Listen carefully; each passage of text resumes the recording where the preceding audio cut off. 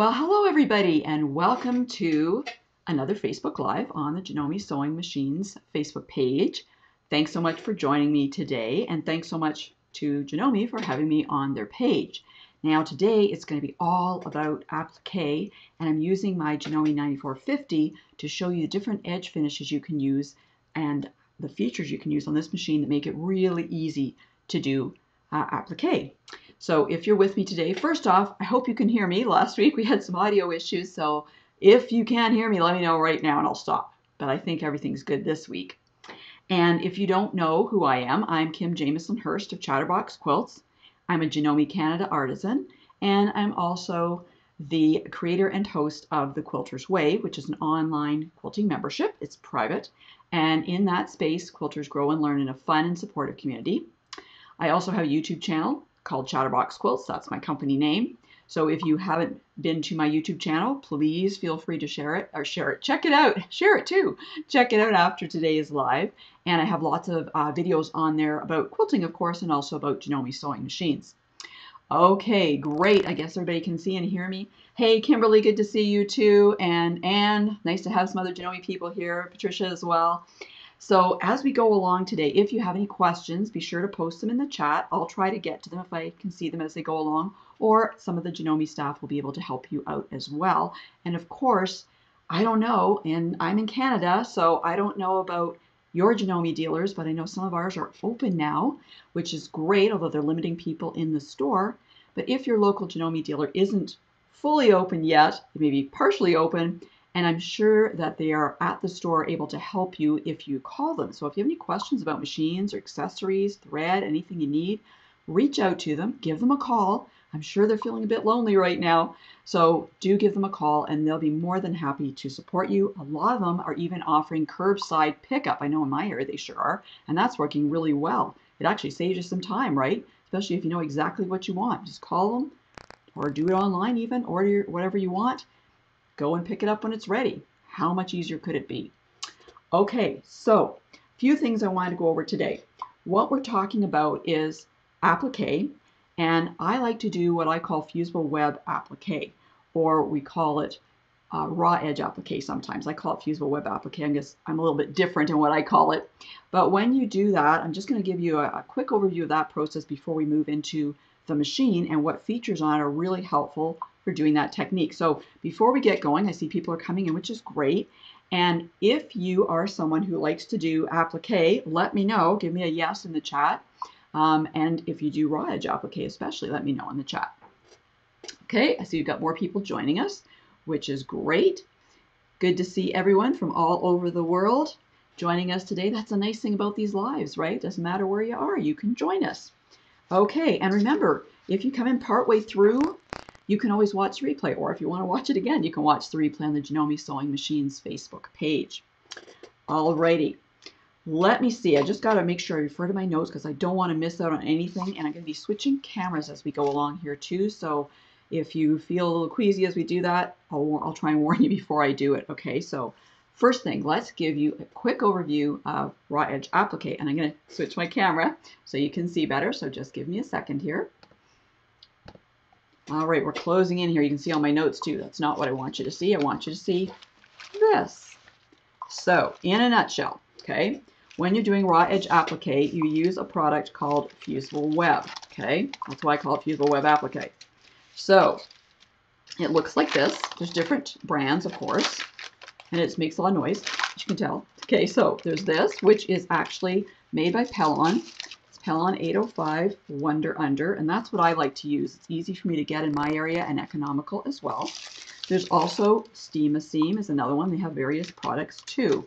So those are a couple of ones that I have in my area that I like to use. Now what you're doing with your raw edge applique is you're taking a design. So I'm going to show you a flower one in a second here, but you would take your fusible web and it is paper on one side, typically paper on one side, and fusible on the other side, and you can feel the little glue dots. Some of the Steam Seam products have paper on both sides. But what you will do is you will put that down over whatever design you want to trace, and then you draw it, okay? And it's all, this is all done in reverse, by the way. Patterns for Fusible Web are, have the templates in reverse, okay? So you will trace it on here. That's great, right? And you'll cut it out, not right in the lines, but you'll cut it out outside the lines so it'll look like this. Okay. And so what I did next is I actually ironed this onto the wrong side of my fabric. Now this looks like the right side, and actually it is, but it's got metallics in it. I didn't really want the metallic side to show up. I wanted to look more like a, a batik. So I actually pressed it to, in my case, what I considered the wrong side, but you're pressing it to the wrong side of your fabric, okay? And you can see that I haven't cut right along the lines yet. That's my next step. I will cut out exactly on all the lines here. I will remove the paper, it just comes off, and then I take it and I flip it over and I put this on my background fabric and I press it down. Okay, and that will adhere that piece in that shape to my background fabric. Okay, that's the quick and dirty explanation of, of uh, raw edge applique. And I actually have a course in the Quilter's Way in my private group, which is a step-by-step, and I'm going to switch cameras again here. It's a step-by-step in-depth course on how to do Fuse Web Applique, and you actually make a project too. So if you're interested in that, you can always go to the Quilter's Way to get more details. All right, so as you can see, it's fairly quick. It's pretty easy to do as long as you make sure you press it to the wrong side of your fabric at first. Everybody does it incorrectly at least once, but that's okay, no worries. But when you get it down, it does adhere, it is glued down, but it's not really permanent, okay? So if you throw it in the wash, there's a chance that your applique pieces may be floating in the water afterwards, okay? They may come off. So what you want to do is you want to stitch down the edges to keep it on your background fabric, right? You don't want them coming off. That's not the intent. You didn't go through all that work just to have them come off, right? So that's where the right tools and the right features on a sewing machine can really help you, okay? So let me just talk a little bit about those. I'm going to move this off. Get rid of all that crinkly noise, okay? So let's talk about the machine, okay? So I'm going to switch my camera again over here so you can see a little closer what I'm talking about. Okay. So when I'm working with my machine, there are, and with this machine, there are a couple of feet. And I'm just looking because I have one on the machine, and I'm looking to see where I put the other one. Here it is over here. Okay, so let me flip this over. Now that makes it worse, doesn't it? Let's not do that. I want to show you. It's so hard to show you things on an acrylic table. Here we go. So there's two feet that you can use for applique, and one is the F foot, which is what I have in my hand right now, and the other one is the F2 foot, and that is actually on the machine here. Now, last week I talked about Fusible Web applique. No, I didn't. I talked about free motion quilting. Okay, they both start with an F. I talked about free motion quilting.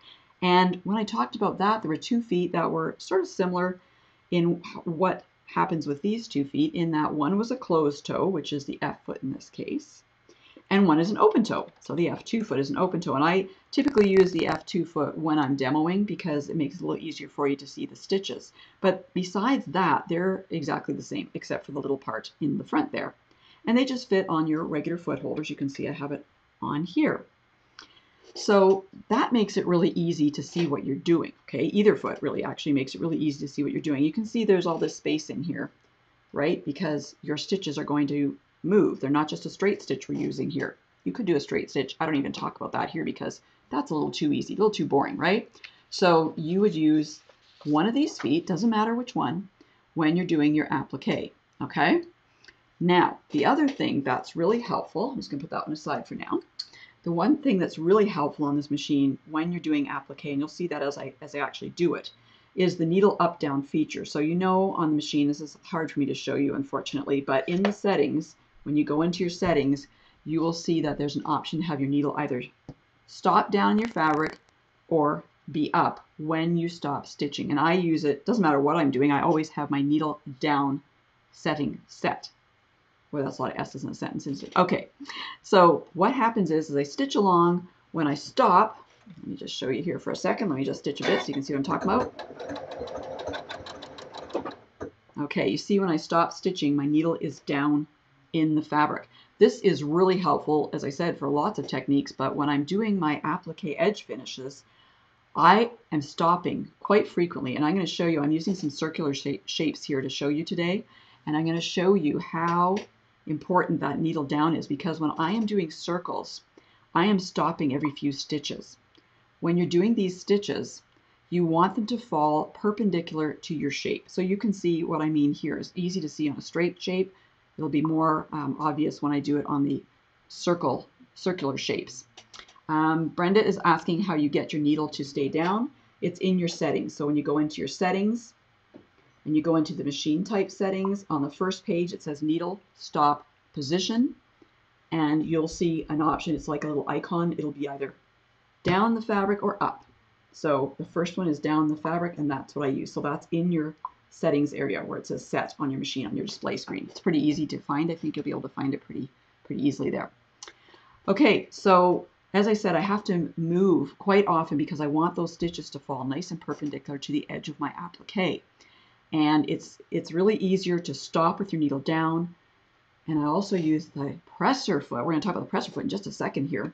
But the presser foot, I would usually have it set so it'll come up when I stop stitching, which allows me to move my fabric. And then when I start stitching again, it'll automatically go down. Okay, so you can see I've got my needle set to stop down in the fabric. My presser foot is set so it will come up when I stop stitching. Boy, it's easy to get those confused, isn't it? Okay, so that works so well, and for it works really well for free motion quilting as well. It's one thing I forgot to talk about was the needle up down when I talked about the free motion quilting. Okay, so those are a couple things that are really handy. Now, I want to talk about um, we talked about the feet just a second here. I want to make sure I haven't missed anything here. Oh, oh, oh, needle plate. Let me just got this here. So you know that the Janome 9450, and what I'm talking about today is also good for 9400 as well. You're going to hear a crash in just a second just to warn you because my cat Victor has left us. There we go. And he's knocking something off on my table, so that's okay. Uh, you never know. Kids and cats, right? You can't predict what will happen. So the needle plates that come with it, there's a straight stitch, there's the HP, and there is this one I'm using, which is, I call it the zigzag needle plate. Some people may call it the, I think they just call it the regular needle plate. It's what's in your machine when you get it. Okay. But you can see it's got all this space here to form your stitches back and forth, right? That's what we want to be using because we are using essentially decorative stitches. Okay, so you got to make sure that's set up and there you're going to have a problem. Okay. Just give me one second here, and then I'm going to tell you some more things.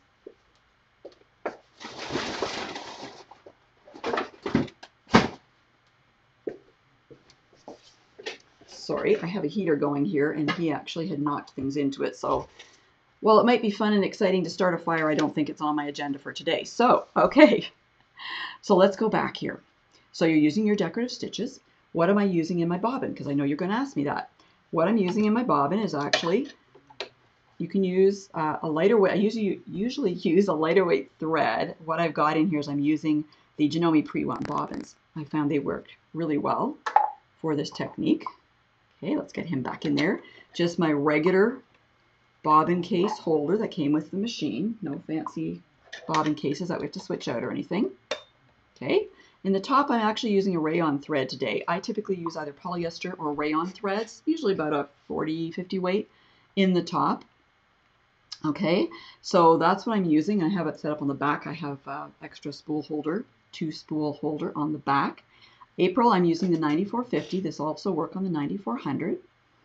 Okay, so let me just get this out of the way here.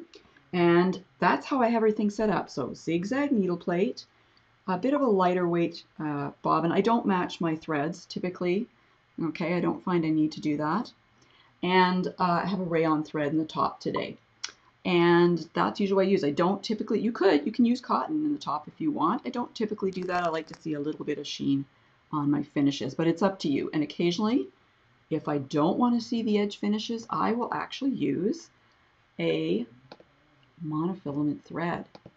And actually it runs really easily on this machine. I usually have to reduce my top tension a bit if I'm doing that, but runs really well and I've used it on a lot of projects too. So don't be afraid of that. Make sure you use a good quality uh, invisible thread, okay? Next, let's see what's happening here. Well, before we actually get into sewing, let me show you what some of the choices are that you can put on your projects, on your applique pieces, and what they look like, okay? So I'm switching back again because I think you won't be able to see them very well if I don't. So let me grab some of those and, and talk a little bit about that because I think people don't often talk about the different choices of threads. And of course, when you're demoing, I'm not using, I'm always trying to use a contrasting thread, so it's not a very good uh, example to give you. So let's just talk a bit about some of the examples that I have here. So this particular design of mine, there's some um, hand embroidery stitches in there, which is kind of fun. Hopefully you can see this. It's hard for me to let me see if I can get it about. There we go. Let's, let's, that highlight on the machine comes in very handy, doesn't it? Okay, so on this particular project, I've actually matched the color of the thread to the color of the appliques. So I'm using a pink here, a red here, a yellow here, as you can see. So you can do that. You can match your threads to your applique fabric colors if you'd like to. And that's nice because you don't see it too much. And this is, by the way, this is like a little zigzag. I'm going to talk about that in a few minutes. The downside of this, I mean, the upside is you don't see them very much. The downside is you have to switch your thread all the time, okay? So there's always pros and cons of different things you do, right?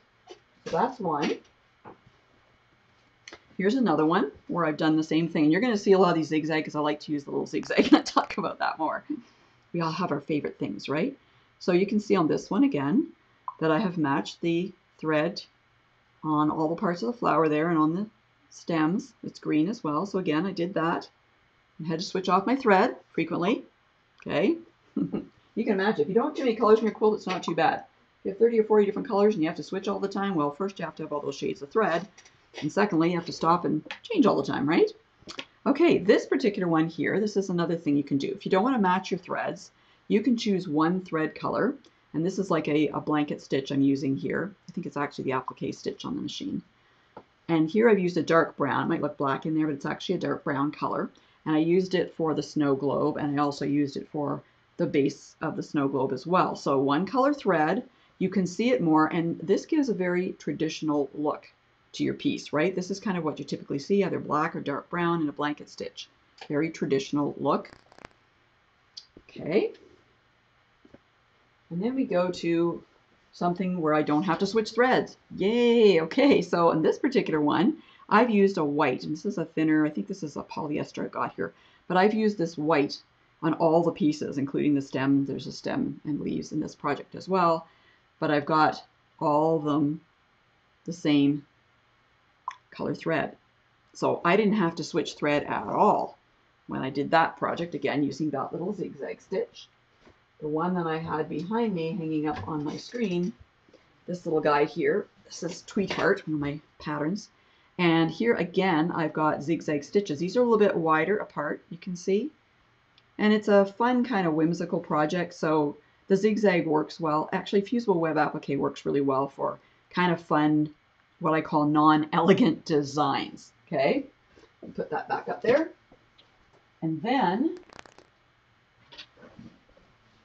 something you won't see me do very often. and I would never do it again on this piece, I'll be honest with you. Um, this is one of my patterns called Snowflakes Have Fallen. It's got snowflakes on it, if you couldn't tell. and I did satin stitch in the center. I actually did a metallic thread. Now that worked just fine, but uh, I think it's metallic anyway. It looks like it shines like metallic. It could have been silver polyester, but um, I did a satin stitch on all these. And with all the corners on this, it was a pain to do because I did this quite a few years ago, and I didn't have this machine at the time. And this machine has a tapering feature that would have been, oh, so helpful in doing these. I mean, it would have been absolutely perfect to do those much easier than what I had to do. Now, I'm not going to talk about the tapering feature today because I know Kimberly did uh, a video on that about a week ago, I think. So you can see that on the Janome Sewing Machines page and uh, learn about that. But it would have been, this would have been the absolute perfect project for it. And the other thing I would never do again, got to show you, um, is I would never do this again. This is all hand stitching. Um, I did hand embroidery on all the rest of them. There's little ones, there's four other ones, and I wouldn't do that again either on this project. So, you know, you, you make and you learn, right? Okay, so I'll put that back. So those are kind of the three different uh, choices that I want to talk about today. I'm moving cameras again. Okay, so there's a few ways you can look at the machine and get to these different uh, stitch choices. And there are some other ones I want to talk about as well, I'm going to focus on the three that I showed you there. It's kind of really like, it's sort of like four, but you'll see what I'm talking about when I get into it. So before we get to actually stitching. I know you want to stitch, you want to stitch, but we want to actually show you how to get to these things on the machine, right? Because it's no good for me to show you how to do it where I'm stitching, but I'm not going to show you how to get to it on the machine because that would be frustrating, wouldn't it? Okay, so let's take a look. I'm going to screen screen share. I'm going to screen share. Yeah, I'm going to share my screen right now. So let me just do that. Give me a second here to do that so that I can hear the birds chirping outside. I don't know if you can hear that or not, but um, let's see. I'm just reading here too for if any other questions that are coming in. I see Emily's answering lots of questions, which is great. Okay, let me just change over here. Okay, I'm going to share my screen now. Going to change in just a second here. We hope. There we go. Okay, so when you turn on your machine, you get this utility screen, right? And you can see on there that there are different choices. And I never know what to call this little icon. I think it's a decorative stitch icon. Okay, there's lots of names on in the manual for some of these, and some of them are just too long for me, so I make up my own names. Why not? As long as I know what I'm talking about, and you can see because I circled it, okay? So we're going to go into the decorative stitches area. And on the first page, you see that there are applique choices, right? A for applique. And so when you go in here, there's actually two pages, and there's lots of different designs in here, all right, that you could choose to use on your applique. As I said, there's two different pages of them. But I don't actually use these typically, okay, because the machine actually has made it even easier for you. It's narrowed down your choices to those three I talked about, which are probably what you're going to use most of the time anyway. So again, um, you can't see my, machine, my screen. Sorry, thank you, Anne, for letting me know that. Let me go back again. And just make sure. There we go. Sorry about that. Okay, let me go back again. I'm not sure why it didn't catch the first time. But you know, technology. Okay, so let's go back again. Sorry, when you start, here's your utility screen. Click on the icon there, which says decorative stitches, and you have more than one page, but applique is on the first page. So when you go into it, you have two pages of choices on these different stitches. But as I said, I typically do not go and use those. I find the machine makes it easier for me, so I don't even have to worry too much about it, and I can go to my one one that I like, the ones I like the best to use, the ones I find I use the most often. Okay. Um, April, you're talking about the Quilter's Way. Just go to thequiltersway.com and you'll find out information about it. On this page, you see, well, on every page, you've seen that little t-shirt icon, the sewing applications icon. See, I always call it the t-shirt icon. So when you click in there, you have all these different choices, right? And you can see again, we have two screens. You can always tell how many screens are by looking at at the top there, it'll say one of two. So use your arrows at the bottom to go to the next screen. Two of two, right? And so you will see applique there, right? So this is the easier way I go into it. I go in, push the t-shirt icon, go into the second page, and hit that applique icon or button. And again, we have two pages. But you can see on the first page right away we have different stitches. So the first one they call applique stitch. It looks to me like sort of a modified blanket stitch. Um, and then you have, and you have two choices here. I'm going to talk about that in a minute. But on the second page, there's a zigzag stitch. So on the first page, you get the applique and the blanket stitch. The second page, you get this zigzag stitch. Okay, so you notice that there's an M and an R on these different stitches. And so you probably wonder, what does that mean? Well, it's pretty easy, actually. M is for middle, and R is for, okay, guess, guess. It stands for right. And what this actually is, is where the needle is going to drop in your fabric. So when it says M, it means that the needle is going to drop in the middle and stitch out from either side of it. Okay, the needle is in the middle, but then your stitches form to the right and left of it. The R is right, means that your needle drops to the right and your stitches are all forming to the left. It's kind of counterintuitive, but that's kind of how it goes. So your needle is right. So the M and R refer to your needle where it's dropping down. Okay? So you can see that uh, both of these stitches here, the applique and the blank stitch, both have the M and the R. So you just click on them. And as you click on them, so here's the M. If you take a look under the B, the start over button there, take a look at what the stitches look because it'll show you what the stitch, an approximation what the stitch is going to look like when you stitch it out. And of course you can change the length and width of these stitches as well. So when you are changing the width or length, you'll also see that this little approximation of the stitch will change. So take a look at this one here. We're in the M drop, the middle drop. And then when I go to the right, it moves to the right of the screen. Okay, it's a subtle thing, but it does change. Okay, I'm looking at the 9450 here, Karen, but this is also applicable to the 9400 as well. Okay, so when you go to the second screen and you have these zigzag stitches, you have the same thing, middle or right. Okay, now I want to talk about a couple other options that are on here. So you notice what I've got circled here. The B is what we call a start over button, okay? And this is what you're going to be using when you come up to the corner. When you're going to change, I shouldn't say a corner, when you're changing direction, okay? Typically it's a corner, okay? But depending on what, you know, it could be a V kind of shape or something like that. So when you come up there, you're going to want to, you know, start your stitch over as you turn to the next direction. So the yellow, air, yellow kind of straight line of stitching that I have there, that's sort of your default. That's what it typically is set up for. That's our cornering icon. Okay, so when you press that B button for the start over and it's set up with this straight line of stitching icon, hard to call them different things, right? But when you have it like that, what happens is that it's going to do several locking stitches and then start again, okay? That's one choice. Now you can see if you press that button, it will change. So it toggles back and forth when you press that button. I've got circled right there. When you press it and it has this kind of a cornering look to it, and you press the start over button because you're starting a new direction, it will just continue along. It starts the pattern again, the stitch pattern again, but it doesn't do the locking stitch. So this is typically where I would have it as I go along. But if for some reason you want to have a locking stitch, you would make sure it's set like this. And again, you just press the button, it goes back and forth between one or the other.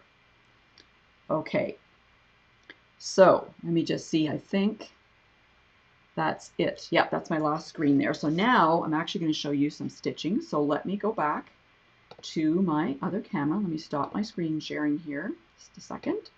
And we'll come back here. Okay. And now I want to show you how I'm doing some of these stitches. Now, I did show you, and I'm going to switch back to my other camera. I know this is a lot of camera switching, but I'm trying to give you the best angle on on things. It's always hard when you're actually sewing on a machine. And you know, by the way, when you've got your machine set, I have it machine set for I think it's 15 minutes or something like this, and that goes into sleep mode. All you have to do is push one of the buttons on the front of the machine and it brings it right back, just in case you ever had that problem and didn't know how to get back again. Okay, so you saw me with this little piece here. This is my practice piece, okay? So before I actually do any of my applique stitches, I always practice them first. And the reason I do that is for a lot of reasons. First off, tension, okay? Um, as I said, I'm using different thread in the top and bob, bobbin area, so maybe my tension's a little bit off, okay? So I want to make sure that's okay. I don't want to see my bobbin stitches on top, and that's especially true when you get into the satin stitches, okay? And when you look at the back here, you can see, and I'm going to talk about stabilizer in a minute, but you can see I've got a little bit of my top thread showing here. And that's what I typically want to see. I want to see a little bit of my top thread pulled down to the bottom. Okay, so that's what I'm looking for in my tension. So you can always adjust your top tension if you need to. The other thing I'm looking for is what do I want my stitches to look like? So it might be difficult to see here, I don't know. But my satin stitches, when I was playing with them here, I actually started off with one width and I actually increased my width. So I was playing with the width. I was also playing with the length of the stitches, and I'll talk more about that in just a second. Okay, so always a good idea to do some practicing, especially when you're doing these kinds of stitches, any kind of decorative stitches really, okay? So stabilizer, let's talk stabilizer. I have a big piece of stabilizer here. There's different kinds of stabilizer. I have a tearaway stabilizer. Okay, on here you can have wash away, you can have different products. I like the tearaway for most of what I tend to do with this machine. And what that does, does is it gives it extra stability so that when you are stitching with satin stitch for sure that you don't get this tunneling or this puckering. Um, let me see here. Actually, when I did some of these, yes, you can see this here. So what I'm talking about when I'm talking about puckering, you can see here it's pulled it in. It's probably a little difficult to see there for you, but you can sort of see that's pulled it in. Okay, Now, when I'm doing my blanket stitches or my regular applique stitches, and I have fusible web on the back of my appliques, that is usually enough. I do not use, use stabilizer behind those, but when I'm doing satin stitches, I absolutely always have at least one layer of stabilizer behind. By the way, if you have, if you're finding, again, you're doing your sample, right, a little sample piece, and if you're finding that you get that tunneling around the edge, add another layer of stabilizer behind it. You can get this in different weights as well. I like to have what they call lightweight and double up if I need to, rather than having a heavy weight and it's more than what I really need for most of my stitching. Okay, so I've gotten back into my machine now and I've done my practicing and everything. And what I want to work on now is I want to work on my applique stitch. Let's take this, actually this isn't stuck on here, so let's just take it out for a second so you can see the results without the stabilizer first. Okay, so I've got a few little circles here to work with. So when you start with these applique stitches, and I'm using the applique R, okay, so my needle drop is going to be, you can see my needle is already at the right side of my foot, and it's going to drop down. Now where do you want your needle to start? You want your needle to start just on the background fabric, just against the edge of the applique piece, all right? And when you start, it will lock stitches for you automatically, okay? Let me make sure I've got inside. I want to make sure my needle that I've pushed on my display screen, so my pressure foot will automatically come up when I stop stitching. My needle down is already set, of course. And you know what? Even though I can sort of see this, I use my hand wheel to drop that first uh, to drop the needle in at first. So it's right against that applique. Okay, now something else that's handy on this machine that I hadn't really thought about too much, but I use for other things is the um, speed control. So my speed control is down. I'm going to put it down a little bit more. So lower your, your speed on the machine a little bit. You don't need to be going fast to do this. So let's just see how this looks. This is, uh, I've actually changed my settings on this a little bit. So I've made the width a little bit different. I'm going to go back to the default. Let's go back to the default here for a second. Okay, so at the bottom of your screen, I don't have a picture of this, sorry about that, but at the bottom of your screen, you'll see your width and your length of your stitches, and there's a little triangle at the top of it. So when you press that, you will see uh, default and DFT and FS on the second screen. So if you do change your width or length and you want to keep it, as your favorite stitch. Going forward, you can push FS and save it on the machine. Anytime you want to go back to default settings, you push DFT. Okay, so let's start going. I'm going to go a little slow, I hope. So it's locking stitches. You can see it's just not moving anywhere. Okay, and then we're going to go along. There we go. It's biting into my applique. Okay, now I'm going to stop there. So remember I talked about wanting my stitches to be perpendicular to my fabric, to my applique. So as I go along, I want to make sure it goes in here. And I want to make sure it goes in here. I don't want it to go here. Okay? So on a circular shape, this means stopping and starting frequently. Okay? So what I like to do is I like to take, I'm giving you a lot more information here today, but anyway, um, what I like to do is I like to look along the edge of my foot, and I like the edge of my foot to be parallel to the edge of my applique. So when I see that my foot is starting to veer off in this direction, for example, and my applique is over here, I know I have to stop. I would stop long before it got this bad, but anyway, I know I need to stop. My needle will go down my fabric, my pressure foot comes up, and I can adjust until the edge of that foot is again parallel to my circle in this case. So let me go a little bit further here. Let me show you what happens when I don't do that. And I can push my lock button and lock off my stitches here just so I can show you. It'll finish its pattern. So if I don't keep moving, you know, adjusting as I go along, what happens is you can see how my stitches are going right off the applique. They're going straight along. Well, my applique shape isn't like that, right? So that doesn't work very well. Yes, you should bring up the bobbin thread. Thank you, Victoria. I didn't do that, sorry. But yes, you should.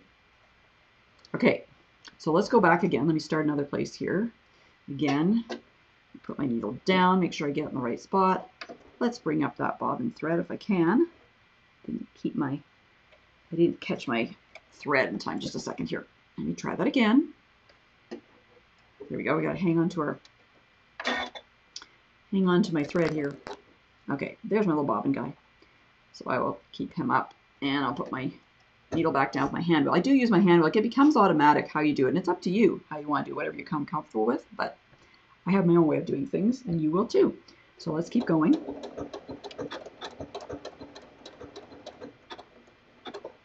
Okay, so you can see I'm starting to veer off, so I will stop, adjust.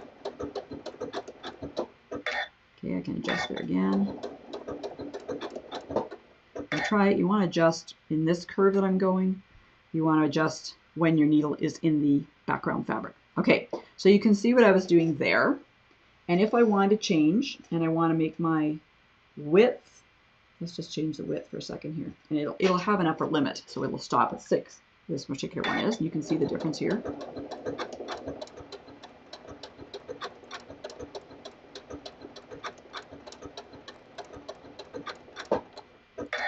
Change again. Okay, let me just lock off my stitch here.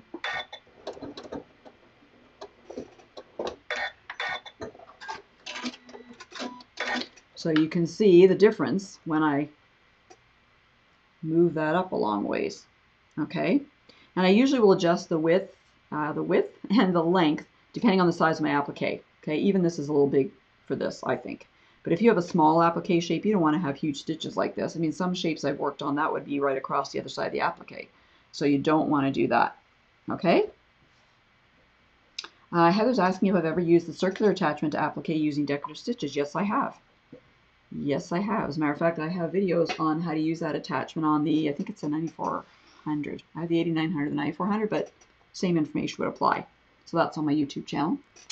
Okay, so you can see what's happening there. Now, let me just show you what it looks like. Let's go to the blanket stitch, and I'm going to show you the middle position so you get an idea for how that works. Okay, so you can see right away my needle has moved.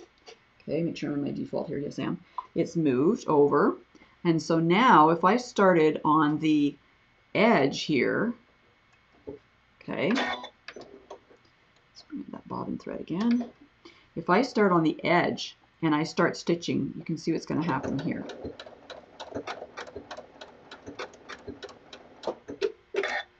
Turn it on here.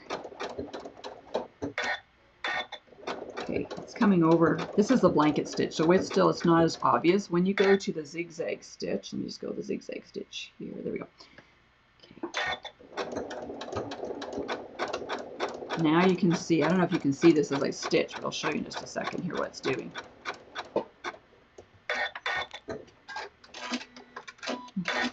Not as much of a difference with the blanket stitch. It's still not, even though I had it on the edge, it's over further. You can see that there. But with the satin stitch, it was going back and forth. So even though I had my needle where I thought was sort of the edge of the applique, you know, it stitches to the right and left of it. So I'm totally off.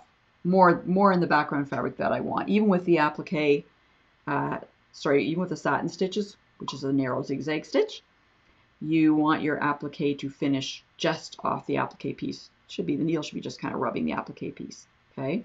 And let's talk about, since we're in the zigzag area, let's talk about that. And I know you're going to talk about the knee lifter. I see there's a question about the knee lifter already. Sorry for moving in front of the camera here. Um, am I using my knee lifter? No, as a matter of fact, I haven't used my knee lifter yet. It's still in its package. Okay, so I have not used this. I use this for when I'm doing like the variable zigzag, which is more thread stitching. And the reason I don't is because I've got the automatic pressure foot lifter. Okay, so I could use that if I wanted to, but it works just fine with the automatic pressure foot lifter. As a matter of fact, I don't have to use my knee at all, so I like it better, to be quite honest with you. Okay, let's go to the zigzag and let's talk about that for a second here.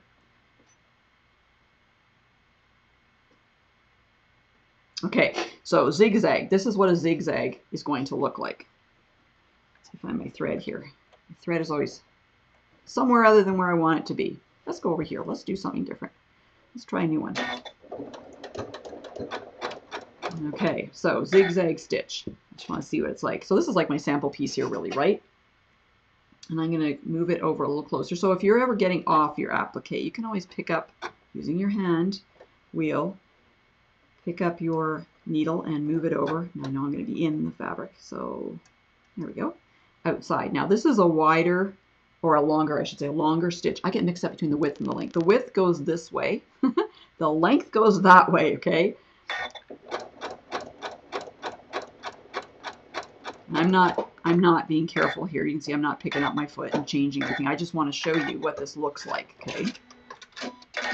So this is where it's in the middle, so I had to move my needle position over a little bit for me. I like to use the right, right, the R stitches more, but you can see that's like a zigzag, right? We're used to seeing that as a zigzag, and again, depending on the size of my applique, I will make this either narrower or shorter or longer, right? That's so much, so much fun. You can move it around, get exactly what you want. Um, when I want to do, I think I've got this set up right now, for a satin stitch, all a satin stitch is, is a narrow zigzag. That's it. It's no big deal. It's just a narrow zigzag stitch. So what I did is I decrease the length, okay? So remember the length goes along this way, so if you make it shorter, the stitches you want them to be lying right next to each other. Okay, I'm cheating again. I'm not going to bring up my bobbin thread for a second here. Okay, so they're right next to each other.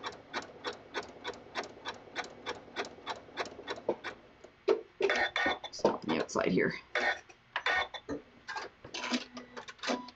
So I have this as the width is 4 on this, and the length is 0.25.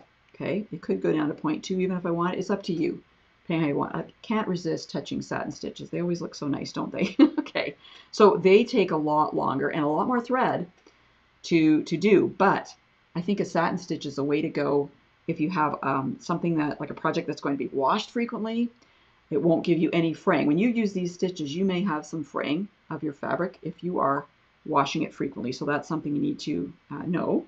And also, I think the satin stitch gives a really nice, elegant look. Again, when you have this rayon thread, it gives a bit of a sheen to it. Metallic is gorgeous with it. So you can just play around with the settings there and get the width and the length you want. So again, the narrow length, the low, very low length to get your satin stitch. And again, you can make your width whatever you want. Let's make it a little bit wider. It's going to stop at 6 as well. And let me take this down to 0.2 and just see. Such subtle differences, you're not going to notice too much, but if I went down to 0.1, you will notice that it's going to be kind of overlapping, so it's not so great.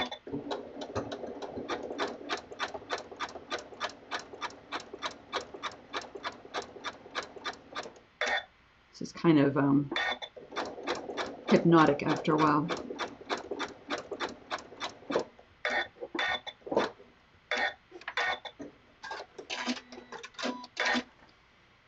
Okay, now, so there you can see what that looks like. I moved this, I moved my um, fabric over at the wrong, wrong needle stroke, okay, and then you'll get a little open area like that if I'm doing it when the needle's inside instead of outside. So you can see that this is much wider. I always want to say longer. It is. It's wider, okay, than this one. That was at, I think, four. This is at six. And this one is closer to, they're a little closer together. So depends on your eye, it depends on the thread weight you're using. Of course, thicker thread, then you will have to make it um, a little bit longer than a thinner thread, right? Because it'll take up more space. So you want to make sure you move it over a bit. Okay, so those are some of the different choices that you have in there. The three choices I tend to use most of the time. Now, let me just go back here. I'm going to switch cameras again. So there are some other stitches. There are some elongated satin stitches you can use on this machine as well. I typically don't use those. I would use those more as a decorative stitch than using on the edge of my applique because they are longer and it makes it, you know, if you're trying to turn corners, you might be doing it partway through a design and it's not going to work very well. Or if you come up to an edge, you might have to stop it and the pattern continues around the corner. So that might not work quite as well for you. So I don't typically use those for finishing applique edges. What I do use them for is for decorative stitching because they look gorgeous on, you know, say a garment hem, like a, on a cuff or a hem of a skirt, things like that. Any place you want some extra detail, they're very noticeable, right? The satin stitches are always so noticeable and you get that nice sheen, of course, if you have a rayon thread or metallic thread. Now I didn't use my stabilizer behind my satin stitches and they didn't look too bad, but let's put our stabilizer behind. And I'm gonna, I'll leave that at six, I think, because they did start to pull in a bit, a little bit, I can see on the one. So let's take a closer look at that, shall we? Okay, switching cameras. So again, when you come up here, see how it's it's pulled in just, just it's hard to see probably for you guys, but it's pulled in just a little bit there. Okay, so if I put my stabilizer behind though, and I do always use my stabilizer with satin stitches, you should be able to see some difference here, I hope. Certainly if you do a whole piece, you'll notice, like if I go all the way around, you would definitely notice the difference. Let's try again here.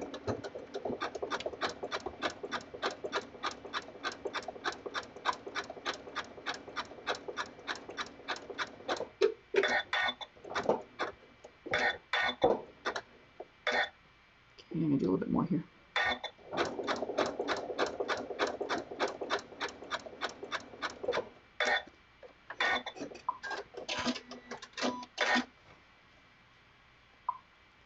Okay, so it's hard to tell, but, and I'm not, I'm too close, I'm a little bit too close in here, you know, real life quilting here. So when I'm out, I should be out just a tad further here, but it actually makes a difference on the back. And you see I've got this nice little bit of green see where my camera is here, sorry. A little bit of green on the edge there, and that's kind of what I should be seeing. That is what I should be seeing. I saw it before as well. So that means my tension is what I want it to be. That's good. But this satin stitch definitely needs to have this stability behind it. I can see, you won't be able to see this probably, but I can see a difference on the edges here as well. Here I can see it's pulled in a bit, whereas here it's lying flatter. So again, if you had done a whole piece there without the stabilizer, you would find the piece shrinking up a little bit maybe a little bit of a bump more than you want on the edge there. Uh, so definitely use a stabilizer when you're using a satin stitch. Okay, switching back to my regular camera again here. Let's just see if there's anything else that I wanted to tell you about this here too. Um, yeah, so satin stitches, you want to use those if you're going to be washing something frequently. Uh, great for uh, edge, not edges, appliques on edges of garments or pillows or things like that, right? It makes a really elegant finish, I think. I like to use a narrow zigzag, a narrow and thin zigzag. And a lot of times, like I said, I will just use one color, a cream or something, you know, not, it depends on what you want to do. I mean, some I've actually use a really bright color thread on some bright fabric, a contrasting thread. Depends on the look you want to get. So lots of different choices, lots of different features on this machine that are really, really helpful. Um, I like the visibility of the F2 foot. That's typically where I go to all the time. I also love the fact that I've got that needle down and the pressure foot automatically coming up because before um, the machines, some of the machines I've had before where they didn't have that option, they did have the knee lifter and that was really great. You get into a rhythm with that as well where you stop, push to the right with your knee lifter, foot comes up, you adjust, down it goes again. Um, so you could do that. But with this machine, I don't even have to think about that when I'm doing uh, edge finishes on my applique pieces. I just make sure that I've pushed the foot pedal up on my display screen and it just comes up automatically. So you get into a real rhythm when you do this. So if you haven't tried Fusible Web Applique, well, why not? you might as well try it, give it a go, and see how you like it because I think it's lots of fun.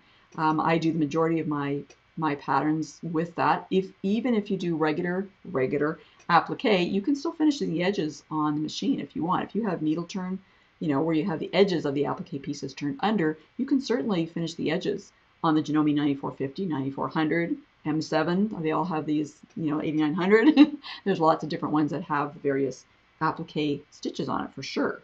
And you have the option to change the width and length on them, which gives you so much versatility on it.